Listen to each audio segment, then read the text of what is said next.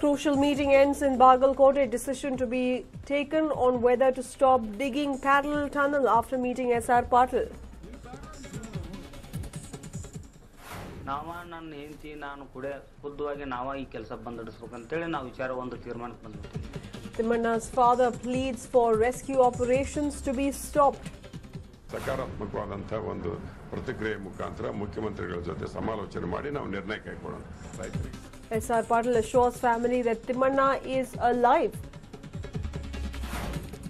Yet another rape shocker in Bengaluru. A female employee of Clap Edutainment allegedly raped by CEO at a private hotel.